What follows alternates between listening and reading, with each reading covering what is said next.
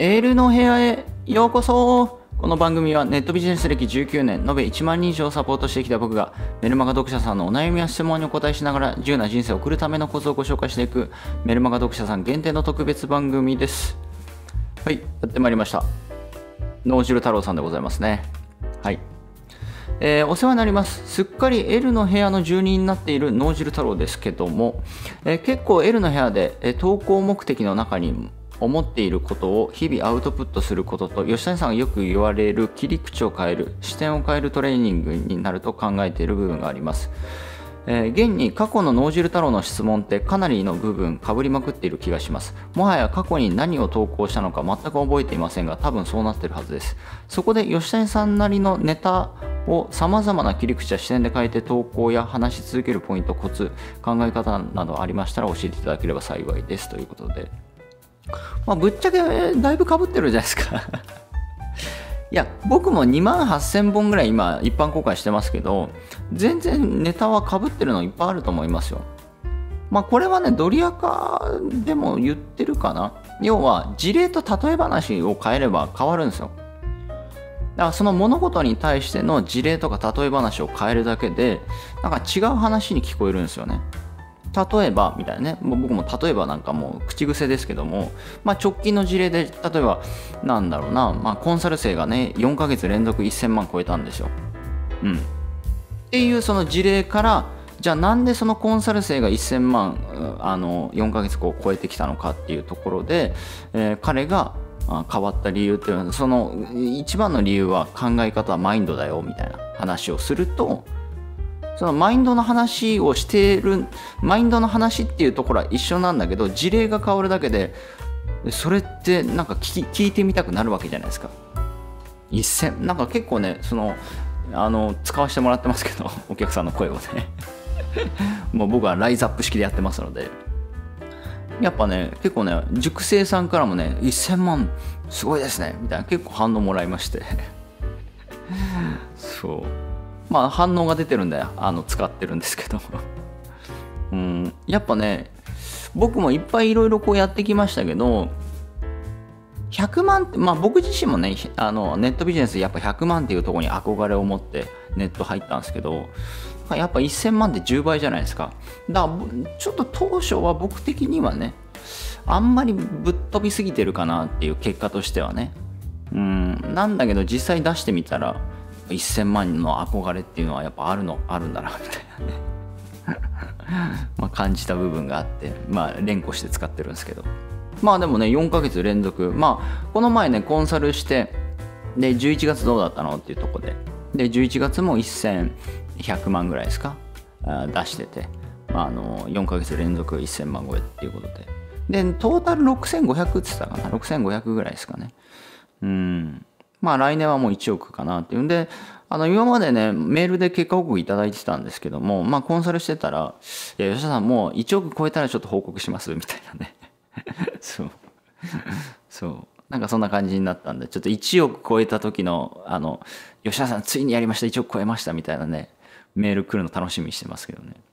まあなんかそんな事例とか、あと例え話をこう変えていくと、あの違うように切りあの聞こえていくので、切り口を変えるというよりかは何だろうなあその例え話と事例をただ変えるだけで切り口は変わっているように聞こえるって話ですね。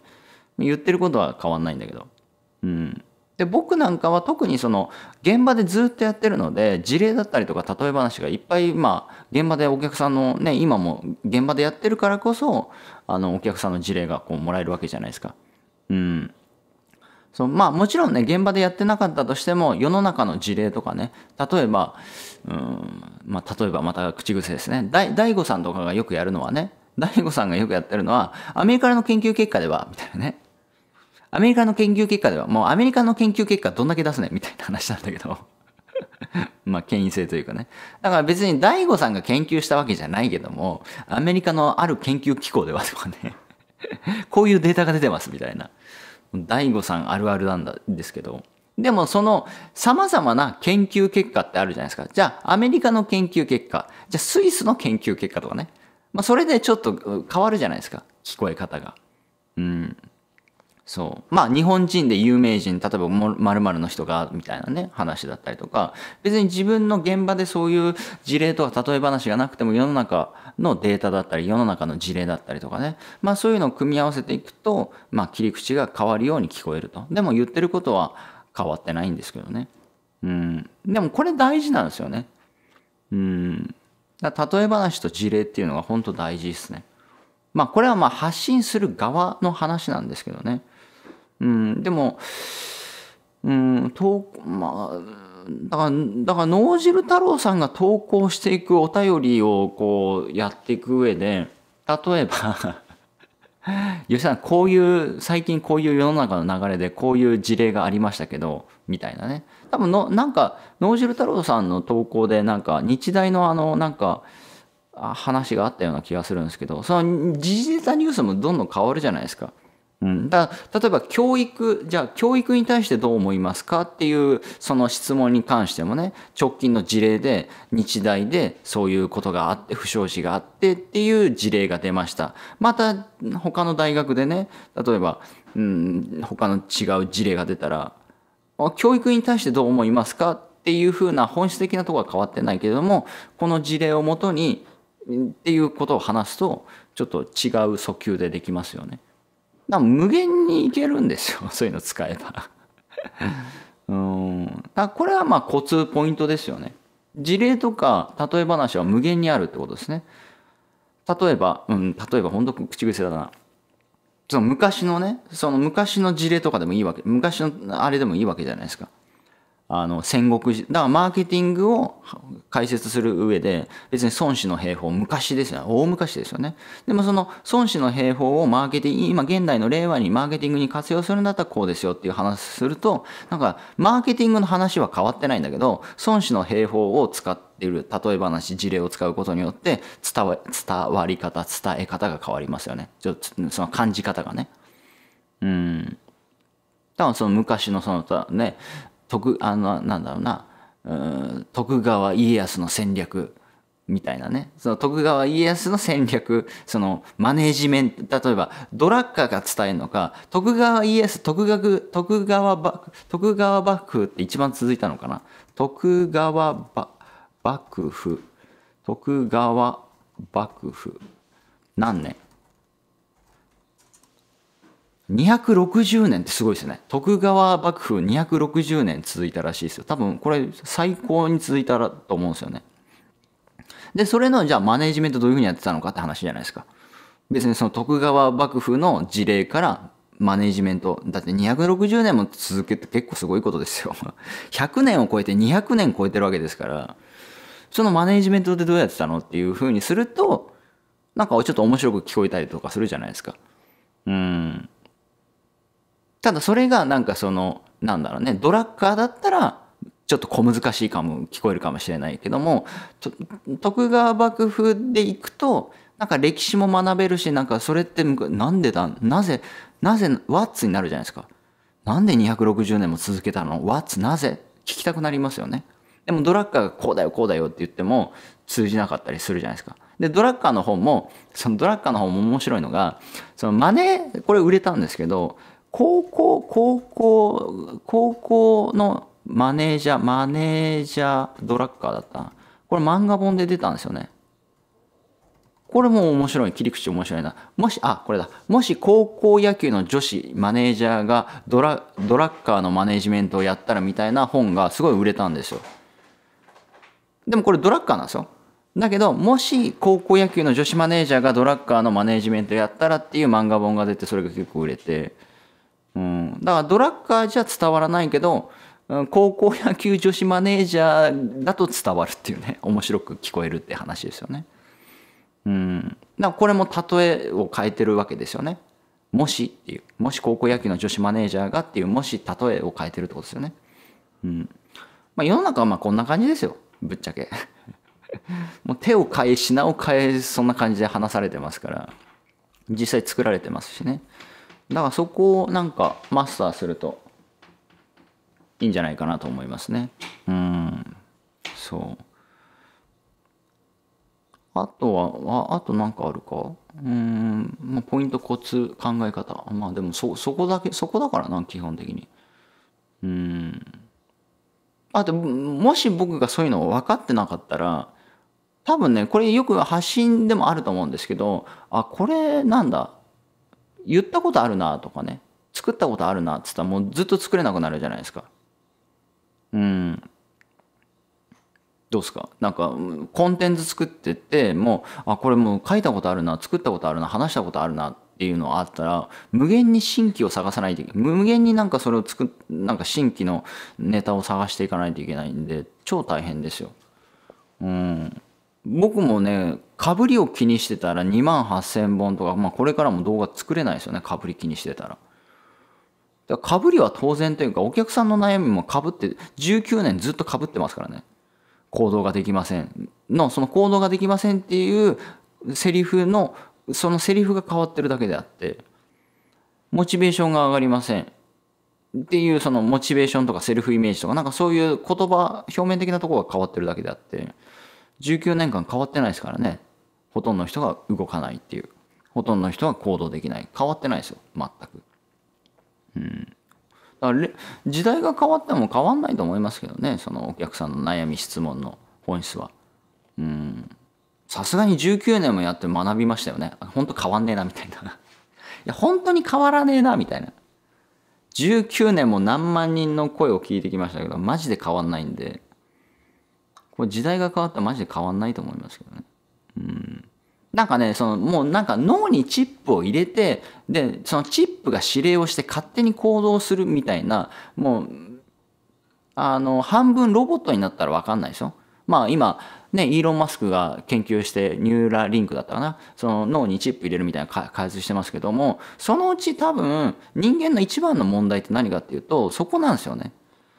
なんかその感情があったりとかそのなんかなかなかなんかできないんですよ。ロボットみたいにそのそのなんだアルゴリズムアルゴリズムがあったらロボットってそのアルゴリズム通りに動くのがロボットじゃないですか。でも人間っていろんな感情があったりとかそうは思っててもできないんですよ。ね？わかります？やろうと思っててもできないんですよ。でそこがもうややこしくて。でそれもだチップ入れてその信号出したらもう動くみたいにしちゃったらもう早いじゃないですか。うん、だから週だから7つの習慣フランコビー博士いらないですよね。その7つの習慣チップを入れたらそのチップが脳に指令してもうその習慣化できるみたいな話ですよ。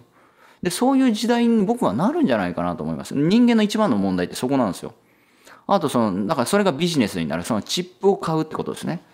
だこういう悩みになった時に脳でこういうふうに処理するみたいなチップスソフトですよね。だ失失恋失恋対処法チップみたいな。パッパカパッパッパーみたいな。失恋になった時はこれを脳にチップを入れるとあの回避できるよみたいな。その悲しくならないよみたいな。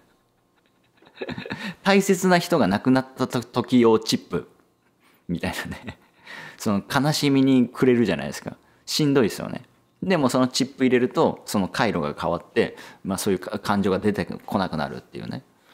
うん。なんかまあそのうちそうなるんじゃないか。まあもうロボット化なるかもしれないですね。もう最終的には。だからそこがこめんどくさいんで。うん。そこがみんなこめんどくさいさ人間の。そう。だ僕ね、猫飼ってて思ったのは、猫ってほんとすごいなと思うんですけど、やっぱ人間の脳よりちっちゃいし、なんだろうな、なんかね、すぐ忘れるというかね、多分僕が命、なんか人間ってね、なんかこの人に恩があるとか、なんかそういうのあるじゃないですか。猫多分絶対ないと思うんですよ。僕ね、命救いましたけど、このご主人様に恩があるとかね、そういう気持ちないと思うんですよ。めっちゃ噛んでくるし、いてっつっても噛んでくるし、察してくれよっていうね。で腹減って飯食ったらすぐ寝るしで騒ぎたい時騒ぐしほんと自由だなみたいな。人間って複雑なんですよねなんかいろいろと。うん。ね日本であの東京オリンピック開催するかなんかの時に東京選ばれるとおおもおもてなしですか？おもてなしみたいな。猫におもてなしみたいなないですよね。とりあえず腹減ったら食うし眠かったら寝るし遊びたかったら遊ぶしみたいな。なんかおもてなしみたいなそういうなんかないですよね。猫に、うん、ご主人様をおもてなしとかね。ないですよね。そう。もう散らかしますよ。あのね猫飼ってる人だったら分かると思うんですけど砂ね。もう砂やたら飛び散るからね。そう。まあね、猫によっては変わるかもしれないですけどね、ルルちゃんはあれですよ、もうめちゃめちゃ砂、うわーかくタイプの猫なんで、出てくるんですよ、砂が。で、今ね、その結構その飛び散らないチップでちょっと重いチップ使ってるんですけど、それでもね、ルルちゃんめっちゃあの、は、あの、書くんで、あの、出てきますね、チップが。で、そのチップがうんこついてるチップだとマジ最悪ですね。うんこ付きチップがこう飛び散るとマジ最悪なんですけど。うん。まあ人間ややこしいんで、まあそのうちやっぱ、あのー、そこの大きな問題ですよね。うん、そこは多分チップを入れて、えー、まあ、チップの売り買いっていうのはそのうち僕はまあそういう時代になるんじゃないかなと思いますしもうもはやもう人間の体捨てて VR で済むっていう時代にもなってくるだろうし、まあ、それはまあ何年後かどうか分かんないですけどね。相当あのー、なんだ時代が進まないと結構なんだろうな人的というかうんなななんて言ったらいいだろうな。そ、それはどうなの？みたいなのあるじゃないですか。いや、そこ、そ科学的技術、技術だったりとか科学的にはできるんだけど、それやっちゃうとどうなのっていう、なんか、あの、問題ですよね。うん、が出てくるのかなっていうところで。うん。はい。まあちょっとルルちゃんが騒がしいので、終わりたいと思います。ご視聴ありがとうございます。